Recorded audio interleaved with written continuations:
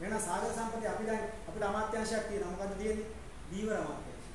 දීවර අමාත්‍යාංශය කියවම සාගර සම්පත, ಖನಿජ සම්පත ඒක ඇතුලේ තියෙන අනිකුත් වටිනා දේවල් ගැන කතා වෙනවද නැහැ. අපි රැයට ගිහිල්ලා උදේට මල් ටිකක් අරන් යනවා. ඕක තමයි අපේ සාගර කර්මාන්තය කියලා, දීවර කර්මාන්තය කියලා අපි කරන්නේ. හැබැයි ලෝකේ වෙන රටකට මේක මෙහෙම තිබුණා නම් මේ රටේ මේ පස් ආහාරය ඉන්න කණිජ සම්පත් ආහාරය සම්පත පාවිච්චි කරලා අපේ රටේ මේ තියෙන අරුබුද වලට විසඳුම් හොයලා මේ දෙකෝටි 20 ලක්ෂයක් වන ජනතාව පවුල් 60 ලක්ෂයකට ඉතාම සුවදායී ජීවිතයක් ගත කරන්න පුළුවන් ආර්ථිකයක් හදාගන්න පුළුවන්. හැබැයි අද වෙනකොට අපි දන්නවා මහා මුහුද අපේ රට වටේ තිබුණාට අපිට ඒකට අදාළ කර්මාන්ත තියෙන විශ්වවිද්‍යාල නැහැ. ඉදිමත් විදිහට අපිට ඒකට අදාළ පරේක්ෂණාගාර නැහැ. ඒකට අදාළ විද්‍යාඥයෝ බිහි කරලා නැහැ. ඒකට අදාළ විශේෂඥයෝ නැහැ. ඒකට අදාළ වෘත්තිකයෝ නැහැ. එහෙනම් අපි අපේ